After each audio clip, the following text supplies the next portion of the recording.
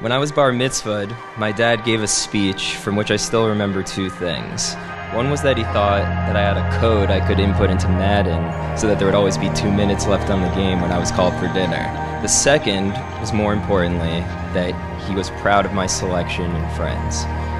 And now that I'm standing up here with you, I couldn't be more proud that you said yes exactly 15 months ago today.